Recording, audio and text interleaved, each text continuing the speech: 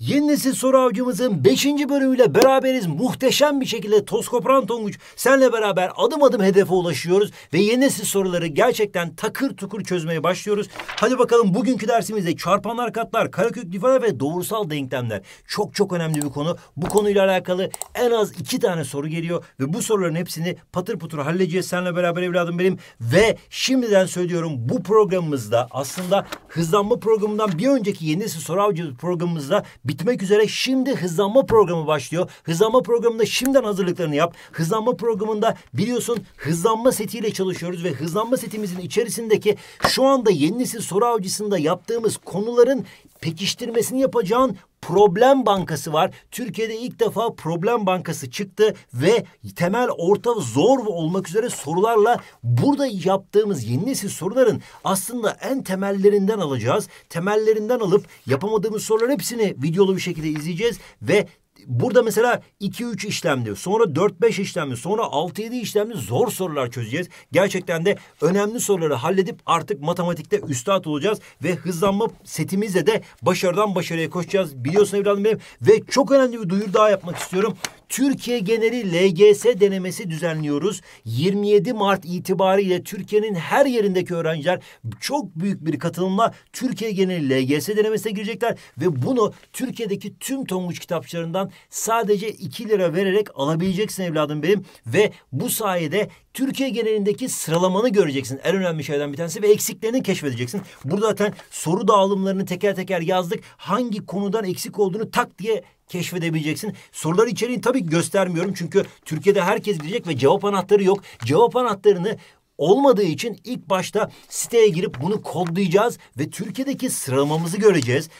E, yani ilk başta soruları çözeceğiz. Ardından cevap anahtarı olmadığı için bekleyeceğiz. 27 Mart'ta beraber de çözebilsin. Bizimle beraber canlı yayında da çözebilsin. Ama sonrasında çözdükten sonra kodlamayı yapıp Türkiye genelindeki sıralamamızı göreceğiz. Çok önemli. Hangi okulu hedeflememiz gerektiğini belki belirleyeceğiz. Hangi okullardaki hedeflerimizi revize edeceğiz belki. Daha yüksek hedeflere geçeceğiz belki. Dolayısıyla şimdiden bunu alıp hemen e, çözebilirsin veya bizimle beraber 27 Mart'ta çözebilirsin. Hadi bakalım o zaman bir dersimize başlayalım. Artık yeni nesil soru avcımızın sonlarına doğru geldik ve bu konuyu artık tamamen bitireceğiz. Yeni nesil sorular bizim için bir sorun olmayacak artık. Hadi bakalım o zaman dersimize başlayalım.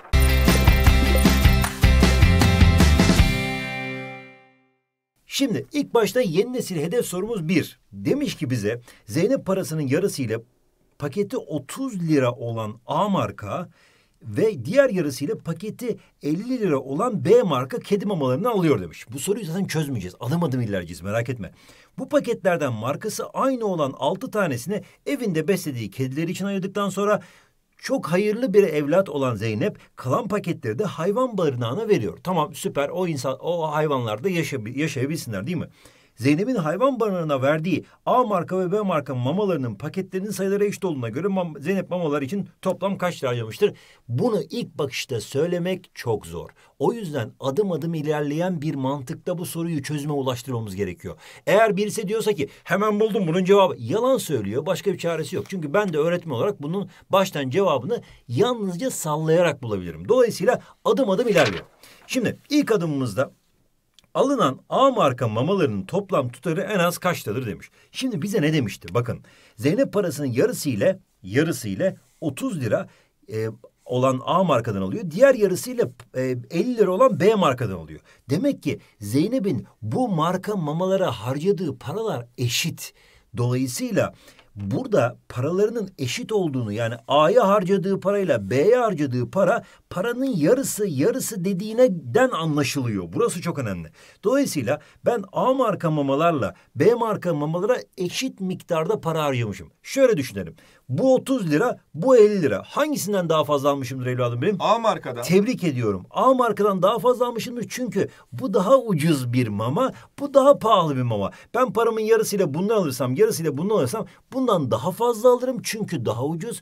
Bundan daha az alırım bu çünkü daha pahalı. Şimdi bunu aklımızda bir oturtalım. Sonrasında, sonrasında A marka mamalarla B marka mamaların tutarları yani TL bazında eşit ise bunlar o zaman diyorum ki acaba bunlar en az kaç lira olur? İşte bunu yapabilmek için aklımıza hemen ekok gelmesi gerekiyor. Çünkü ikisinin de katı olan bir sayı olması gerekiyor. 30 ve 50'nin de katı olan bir sayı olması gerekiyor. Hemen ikiye böldük. 15, 25. 2'ye bö ikiye bölünmez özür dilerim. 3'e böldük. 5, 25. E 5'e böldük 1, 5, 5'e böldük 1. E, bu 3 bu arada. 2 kere 3 6, 6 kere 5 30, 30 kere 5 150. Bundan 150 TL harcarsa bunlara 100, buna 150 TL harcarsa buna da 150 TL harcarsa aslında ikisinde de eşit miktar e, eşit para harcamış oluyor ve en az da 150 TL harcaması gerekiyor. Bunlara eğer daha fazla harcayabilir bu arada. Bunların katı da olabilir. Mesela 300 lira da harcayabilir, 450 lira harcayabilir ama bunlardan da ne demişti? Bu, yarısı bundan yarısı bundan alacak şekilde kedi mamaları alıyor demiştik. Peki sonrasında bunlara en az 150 TL harcayacak. Bunların ekokunu bularak bulduk.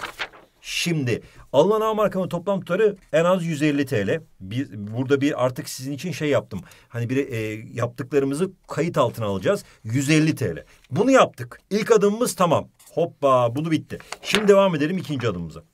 Zeynep parasının yarısı ile paketi 30 lira olan A marka falan bilen bunları zaten söylemişti. A marka mallardan en az kaç paket almıştır? Şimdi ne demiştik biz? İlk adımda 150 TL'lik A markadan 150 TL'lik de B markada en az alabiliyoruz. Bunun 300 450 böyle katladı alabiliriz ama en az demişti. Bunu ne soruyor bize? A marka mallarda en az kaç paket almıştır? E 150 TL'lik almıştık. E 30 TL bir paketi ise bu arkadaşın dolayısıyla beş paket almıştır diyebiliriz. B marka mamalardan 150 TL her bir paket 50 TL dolayısıyla bundan da 3 paket almıştır diyebiliriz. En azları buldum. Dikkat edelim. Bunun fazlası da olabilir. Yani 300, 450 ekokun katları da olabilir diyoruz. Devam ediyoruz. Alınan, alınan Ha, bir de bu arada burada yaptıklarımızı bir kayıt altına alalım bakalım. Buradan ne demişti? Beş paket almıştır en az demiştik. Burada da üç paket almıştır en az demiştik. Bunlar en azlar dikkat edelim. İkinci adımda tamam. Süper gidiyoruz şu anda. Sonrasında sonrasında demiş ki alınan A ve B marka paketlerinin sayılarının alabileceği en küçük dört değeri ikililer halinde yazınız demiş. Şimdi biz ne demiştik? A'dan beş tane alır. B'den de üç tane alır demiştik. Ama bunun katları da olabilir. Çünkü 150 TL'lik değil 300 TL'lik de alabilir her ikisinden. 300-300 de alabilir. Dolayısıyla bundan 10 tane alabilir. Bundan 6 tane de alabilir. Veya bundan 15 tane alabilir. Bunun 3 katı. Bundan 9 tane alabilir. Veya bundan 4 katı 20 tane alabilir. Bunda 4 katı 12 tane alabilir. Neden? Bu 150-150 harcarsa, bu 300-300 harcarsa ne olur? Bak bundan 10 tane alıyor, 330 lira 10 tane alır. Bundan 300 tane 300 liralık alırsa 300 bölü 50 6 e, tane olur. Eğer daha da fazla harcarsa 450 liralık alırsa 450 liralık alırsa bundan 15 tane alabiliyor. 450 liralık alırsa bundan 9 tane alabiliyor. Peki daha da fazla 600 liralık alırsa sallıyorum. Bunları aslında katını bularak hesaplayabiliyoruz. A'dan B'den alabilecekleri 5 3. Zaten biz bunu bulmuştuk. En az en az 5 3. Tamam. Eyvallah. Şimdi burada ne oldu? 5 3'ün yanında 5 3'ün yanında aslında 16 da alabilir veya 15 9 da alabilir veya 20 12 de alabilir. Dört tanesini yazdık. Tamam. Üçüncü adımda tamam diyoruz. Mükemmel. Peki sonra artık sonuca yaklaşmaya başlıyoruz. Üçüncü adımda bulunan ikililerin büyük olanından altı çıkarınca niye böyle bir şey söylüyor ki? Çünkü ne demişti? Bu paketlerden markası aynı olan altı tanesini evinde beslediği kedileri için ayırdıktan sonra demişti. İlk başta o altı tanesi alıyor. Sonra kalan paketleri hayvan barınağına veriyor demişti. Ama markası aynı olacak. Şimdi ben buradan ben buradan markası aynı olan alt tane alacağım. Bundan alamam zaten bitti. Beş, beş tane var. Bundan üç tane var. Alamam hiçbirisinden. Bundan alt tane, bundan alt tane alırsam hiçbir şey kalmaz diğerine. Bundan alt tane alabilirim. Dolayısıyla e, dört tane altı tane olur. Ama ne demişti? Şimdi burada bak ne olur? Buradan altı tane alırsam, buradan altı tane alırsam on ve altıdan altı tane alırsam dört altı kalır. On beş dokuz ikilisinden altı tane alırsam bundan kendisine ayırdığı e, şey 9-9 kalır. Bu, e, 20-12 ikilisinden 6 tane alırsam bu büyük olanları alalım. Çünkü geriye kalanlar eşit hayvan barınağına verilenler. Bu da 14 e, 12 olur. Şimdi geldik sonrasında 6 çıkarınca kalan sayılar 4, 6, 9, 9, 14, 12. Kendisine ayırdı, kendi kedilerine ayırdı. 6 taneyi aldı. Kalanlar bunlar. Ne diyor bize? Zeynep'in hayvan barınağına verdiği A marka ve B marka mamaların paketlerinin sayıları eşit olduğuna göre işte burası çok değerliydi. Eşit olduğuna göre ya bakar mısın zaten eşit olan tek bir seçenek var 9 9. Yani A marka mamadan 9 adet, B marka da 9 adet vermiş olması gerekiyor hayvan barınağına. E kendisine de ne almıştı? 6 tane bunlar almıştı. Yani A markadan 15 tane, B markadan da 9 tane olan seçeneği seçiyoruz. Toplam kaç lira harcamıştır? O zaman e, Zeynep 15 çarpı 30 yani 450 TL buna. 9 çarpı 50 yani 450 TL buna toplamda 900 TL harcamış ve kedilerine ucuz olan markayı ayırmış. Teşekkür ederiz Zeynep'e. Gerçekten e, önemli bir soru tipiydi. Adım adım çözdük. Bakın yeni nesil sorularda her bir adımın kritik bir değeri var. Bir adımı atlarsak patlayabiliriz. Geldik yepyeni bir soruya. Bu zor bir soruydu. Geçen sene değil galiba ön, ondan önceki sene çıktı bu. Ama birçok insan yanlış yaptı bu soruyu. Çok basit gibi gözüküyor. Ya bunu bulmakta ne var ki? Ben zaten bu ondalık karekökleri biliyorum diyoruz. Ama birazcık deneme gerekiyor. Bakalım. Aşağıda dört farklı renkteki kartların her birinden üçer adet verilmiştir. Bir, iki, üç kart, üç kart var, üç kart var. Aynı renkteki kartların üzerinde aynı karekök ifade ediyoruz. Yani bunda sıfır tam onlu, e, sıfır tam sıfır dokuz karekök içinde yazıyorsa bunda da öyle yazıyor. Bunda da öyle yazıyor. Tamam. Eymen bu kartlardan seçerek üstlerinde yazan karekök ifadeleri topladığında bir doğal sayı elde ettiğine göre diyor Eymen en fazla kaç kart seçmiştir diye soruyor. Bu kartlar toplamı kaç tane evladım benim? Ee, 12 tane hocam. Tebrik ediyorum. 12 tane nasıl bulduk? 3, 3, 3, 3, 4 grup var. 4 kere 3, 12 tane kartımız var. Ve bunların üzerlerinde yazanları da biliyoruz zaten. Süper. Eymen en fazla kaç kart seçmiştir diyor ve bunların üzerlerindeki to- sayıları topladığında doğal sayı elde etme şansı var, olayı varmış bir adımda yapılmayacak bir soru. Çok adımı var. Gel bakalım seninle beraber ilk adımla başlayalım. Kartların üzerinde yazan karekök ifade onu da gösterimi yazalım. İlk adım bu. Gerçekten hani bu ilk başta bir işlem. Mesela sıfır tam e, yüzde dokuz. Bunu zaten öğrenmiştik ama bu da ilk adımı öyle hemen e, yelkenleri fora, fora yapmıyoruz. Bunu üç, bu da on. Yani sıfır tam onda üç çıkıyor. Bu ilki. Ondan sonra sıfır tam yüzde yirmi beşi de 25 bölü 100 diye ayırıyoruz. 5 bölü 10, 0 tam 10'da 5. Böyle hızlı hızlı yapıyorum. 0 tam e, 64'ü de 64 bölü 100 yapıyorum. Ondan sonra e, buradan 8 çıkıyor. Buradan 10 çıkıyor. 0 tam onda 8. Ve 1,44'ü de bir tam yüzde 44 aslında bu. 100, 144 yapıyorum. 144, 12. Burası 10. Bir tam onda 2 dedik. Tamam süper. İlk başta ondalık gösterim olarak bunların hepsini bulduk. Sonra hemen bu e, bulduklarımızı lütfen yazalım. Neydi? Hemen burada bulduğumuz sıfır tam onda üçtü kartlarımızın. Bu mavi kart. Tamam. E, bu e, kırmızı kartta sıfır tam onda beş kırmızı karttaydı. Sonra yeşilde sıfır tam onda sekiz, sıfır tam onda sekiz yeşil karttaydı. Sonra bir tam onda iki de turuncu kartta. Bir tam onda iki turuncu kartta. Bunu yeni hedef sorumuzun e, adım kartonumuza yazmış olduk ve bunu tamamladık. Süper. Bu kalsın burada bir yerde bu arada.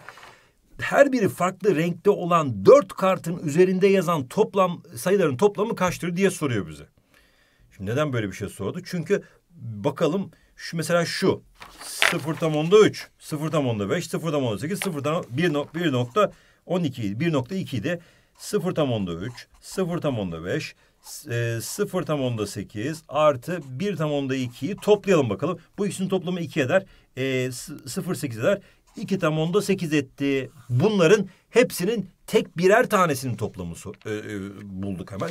Sonra tüm kartların üzerinde yazan sayıların toplamını nasıl buluruz evladım benim? 3 ile çarparak hocam. Tebrik ediyorum seni. Bunu 3 ile çarparak ama ilk başta her biri farklı. 4 kartın üzerinde yazan toplamı 2 e, tam onda 8'di Tüm kartların üzerinde yazan sayıların toplamı ise dikkat edin bunlardan üçer tane olduğu için bunu üçle çarpıyoruz. Yani iki tam onda sekiz çarpı üçten sekiz tam onda dört çıkıyor. İstersek alt alta da çarpabiliriz bu arada hemen size hatırlatayım. Sekiz kere üç yirmi dört elde var iki üç kere iki altı sekiz. Burada bir virgül varsa burada bir virgül var. Sekiz tam onda dört dedik. Peki bunu da not ederim. Sekiz tam onda dört. Peki bütün kartların üzerlerinde yazan sayıların toplamı 8 tam 14. Sonra devam ediyoruz. Burası çok kritik. İşte bunu yapan bir öğrenci zaten bu olayı anlamış demektir. Bak tüm sayıların toplamından en az kaç kartın üzerinde yazan sayıyı çıkarırsak sonuç bir doğal sayı olur. Şimdi şunu hemen hatırlatayım. 0 tam onda 3'tü. 0 tam onda 5'ti. 0 tam onda 8'de. 1 tam onda 2'ydi. Yahu benim bütün toplamım hatırlıyorsan 8 tam onda 4'tü. 8 tam onda 4'ten öyle bir şeyi çıkarmam gerekiyor ki, öyle bir şey çıkarmam gerekiyor ki aslında bu çıkardığım bir tam sonuç bir doğal sayı olacak. Şimdi ben burada doğal sayı yapabilmek için diyeceğim ki ya bu sıfır tam onda dört gıcığından kurtulmalıyım. Yani bu gıcıktan kurtulursam zaten doğal sayı olur. Mesela sekiz tam onda dörtten bak hemen sana bir örnek vereyim. Bir ta, e, sıfır tam onda dördü çıkartsam bitti. Sekiz oldu bitti ne güzel. Tam istediğim şey. Veya bunu çıkartırsam yedi olur. Veya veya e, iki, iki nokta dördü çıkartırsam altı olur. Tam istediğim gibi oluyor. Veya e, veya hani ne diyelim e, 3,4'ü çıkartırsam beş olur. Tam istediğim doğal sayı ulaşıyor bak. Sekiz, yedi, altı, beş. Şimdi ben bunu çıkartabilir miyim sence Allah aşkına? Öyle bir kartımız yok ki hocam. Evet yok ki böyle bir kartımız yok. Yani buradan 0 tam 10'un 4'ü oluşturamam. Bu seçeneği eledim. 1 tam 10'da 4 oluşturabilir miyim bunlardan? Mesela bu ikisini alsam e, 0,805 1,3 yapıyor. Olmuyor. Bu ikisini alsam 1,1 olmuyor. Bu ikisini alsam 0,8 diyor olmuyor. Bu ikisini alsam 1,5 oluyor olmuyor. Yani 1 tam onda 4 çıkarma ihtimalim hmm, yok. Ya ya hiçbir şekilde hani bundan bir tane alsam, bundan iki tane alsam olabiliyor. Ha bak bu olabilir. Bu olabilir. Neden? Bundan bir tane alırım 0.8. Yani 8 diye düşün bunu. Hiç virgülleri düşünme. Bundan da 3 3 iki tane 6 eder. 8 6 daha 14 eder. Bak bu ediyor. Dolayısıyla aslında şunu doğru düzgün yazayım lütfen. 8,4'ten 0 tam onda 4'ü çıkarsam 8 oldu. Böyle bir ihtimal yok ama. 8,4'ten 1,4'ü çıkartırsam 7 olur. Bu ihtimalin oluşabilmesi için iki tane pardon bir tane yeşil iki tane mavi gerekir. Peki 8 tam onda 4'ten e, 2 tam onda 4'ü çıkartabilme ihtimalimiz sonucunda 6 çıkıyor. Peki e, burada iki tam on dört nasıl oluşturabilirim? Bakıyorum bakıyorum. Bundan üç tane alabilirim. Bundan üç tane yeşil alabilirim. Bak tamamen deniyorum. Üç tane yeşilim sekiz kere üç yirmi dört eder. Ya al işte bu oldu. Veya veya veya bundan iki tane alırım. Veya veya aslında bundan iki tane. iki tane turuncu alırım. Peki en az demişti bak burada üç kart çıkarmam gerekiyor. Burada üç kart çıkarmam gerekiyor. Burada iki tane kart çıkarmam gerekiyor. O zaman bu iki tane kartı çıkartırsam işte en az olasılığa ulaşmış oluyorum. O zaman iki turuncuyu çıkartırsam yani iki çarpı bir nokta 2'yi çıkartırsam bu da iki tam onda dört ediyor ve sonuç altı doğal sayımız çıkıyor diyoruz. En zor kısmı buydu bu sorunun. Ve bayağı bir insan bunu hatalı yaptı. Ve cevabımız da Eymen en fazla kaç, kaç kart seçmiştir? Toplamda kaç kart vardı? 12. Tebrik ediyorum. İşte 12'den iki tane turuncu kartı çıkartırsak benim en fazla seçmemi istiyordu ya bu arkadaş. O zaman 10 kart seçmişimdir diyoruz. Bu iki tanesini attım. Bunların hepsi ve bir tane turuncu. 10 kart cevabımızdı. Bayağı bir insan bu soruyu 9 yaptı. O yüzden çok eleyici bir seçenek. Neden diyeceksin? Çünkü bak bir yeşil iki mavi çıkartırsak yani bundan iki tane pardon bundan bir tane bundan iki tane çıkarsak o zaman da aslında bir doğal sayı çıkıyor. Veya üç yeşil çıkartırsak yine bir doğal sayı çıkıyor. Bizim istediğimiz ama en fazla kart seçimiydi. Dolayısıyla bütün kartların içinden iki tane çıkarmamız en optimum çözümü veriyor bize diyoruz ve cevabımız 10 diyor. Hemen geldik yeni nesil sorumuza üçüncüsüne. Bu sefer doğrusal bir denklem aslında ve cebirsel ifade karışık bir soru. Yükseklere eşit olan dik derece şeklindeki iki pakette kakaolu ve vanilyalı bisküviler var. Kakaolu, vanilyalı bisküvi. Tamam. Tabanları çakışacak şekilde yandaki gibi tek sıra halinde yerleştiriliyor. Tamam. Kakaolu bir bisküvinin yüksekliği vanilyalı bir bisküvinin yüksekliğinin yarısı kadardır demiş. Hmm, tamam. Bu aklımızda. Pakette zaten gözüküyor şekilde de kakaolu daha önce. E, paketlerden birinde üç vanilyalı, üç vanilya, iki kakaolu, iki kakaolu bisküvi koyulma. Boş kalan kısmının yüksekliği 10 santimetre. Tamam. Diğer pakette bir vanilyalı, iki kakaolu bisküvi oyunda. Bir vanilyalı, iki kakaolu. Boş kalan kısmının yüksekliği 14. Tamam süper. Tam dolu bir paketteki vanilyalı bisküvi sayısı kakaolu bisküvi sayısına eşit olduğuna göre pakette kaç bisküvi var demiş. Aman Allah. Deneyerek bulabilir miyiz? Bayağı uzun sürer. Ama adım adım, adım hadi bakalım işlemlere başlayalım. Bir vanilyalı bisküvinin yüksekliği, bir kakaolu bisküvinin yüksekliğinin santimetre cinsinden değeri nedir demiş. Bak eğer biz kakaolu bisküvinin yüksekliği x dersek.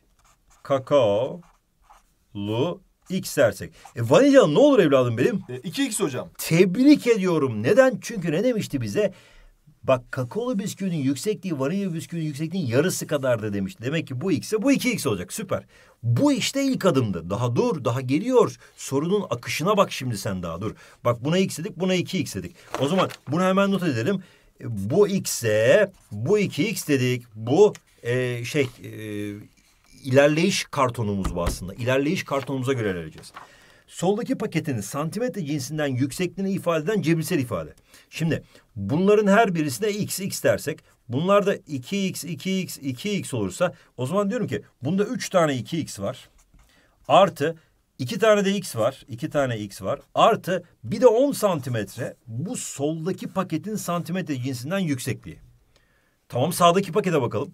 Bunlar 2x'ti. Bunlar da teker teker xx'ti. O zaman bir tane 2x var artı iki tane de x var. Artı bir de 14 santimetre var. Soldaki paket ve sağdaki paket. Dikkat et. Ne demişti? Ee, yükseklikleri eşit olan şeklindeki iki eş pakete. Hmm, o zaman bunu aklımıza getireceğiz. Sonra paketlerin yüksekleri eşit ise ki öyle demiş zaten bize. Bak e, bir kakaolu bisküvinin yüksekliği kaç santimetredir demiş bize. Şimdi ilk başta bunu bir dolduralım bakalım. Soldaki paketin yüksekliğini ne bulmuştuk biz Allah'ını seversen? E, 3 kere 2x 6x artı 2x artı 10 yani 8x artı 10. Bunu bir dolduralım. 8x artı 10. Peki sağdaki paketin yüksekliğini bulmuştuk. 2x artı 2x 4x artı 14 bulmuştuk. Bunu da bir not edelim bakalım. 4x artı 14 bulmuştuk. Bunları artık bir yere koyalım. Sonra burada paketlerin yüksekleri eşit ise soldaki pakette sağdaki paket eşitmiş. O zaman birinci adım tamamdı. İkinci adım tabii. Şimdi bir kakaolu bisküvinin yüksekliğini bulacağız. O zaman diyorum ki yahu 8x artı 10 soldaki paketin yüksekliği sağdaki paketin yüksekliğine eşit olacak. 4x artı 14'e eşit olacak. E bundan sonrası çok çocuk oyuncağı. Bu bu 4x bu tarafa giderse 8x eksi 4x eşittir. Bu 10 bu tarafa geçerse 14 eksi 10. 4x eşittir 4. x eşittir 1 santimetre. X'i bulduk bile. Bir vanilyalı bisküvinin yüksekliği. Yahu şimdi bu aslında x neydi en baştan yaptığımız kakaolu bisküvinin yüksekliği. E x eşittir 1 çıktı. O zaman 1 santimetre kakaolu bisküvinin yüksekliği. E, vanilyalı bisküvi de 2x'te hatırlıyorsan burada da yazmıştık. O zaman bu da 2 santimetre vanilyalı bisküvinin yüksekliği. Şimdi geldik artık e, en güzel kısmına. Vanilyalı bisküvinin yüksekliği 2x'ten 2 santimetre dedik. Ve bir paketin yüksekliği kaç santimetredir diyor. Ne bulmuştuk? Soldaki paket sağdaki pakete eşit zaten. 8x artı 10 diyelim. Bunu kullanalım. 8x artı 10 sa ve x eşittir 1 olduğunu söylediyse kakaolu bisküvide 8 çarpı 1 artı 10'dan 18 santimetredir. E bu, bu, bu 18 santimetre ise zaten eş olduğu için bu da 18 santimetre merak etme. Peki sonra bir paketin yüksekliğini 18 santimetre bulduk. Bu adımla tamam. Şimdi bir kakaolu ve bir bisküvinin toplam yüksekliğini soruyor bize. Bir kakaolu ve bir vanilyalı. Kaç santimetredir? Üç santimetredir hocam. Tebrik ediyorum sana. Bir kakaolu bir, e, e, vanilyalı da 2 santimetreydi. Toplam 3 santimetre bir kakaolu ve bir vanilyalı bisküvi. Kakaolu artı vanilyalı. Bunları da yazdık. Bu bir pakette kaç tane bisküvi ikilisi yani kakaolu vanilyalı niye bunu arıyoruz biz diye, diye devam e, çünkü soruda bize şunu soruyordu hatırlıyorsak tam dolu bir paketteki vanilyalı bisküvi sayısı kakaolu bisküvi sayısına eşit olduğuna göre demişti.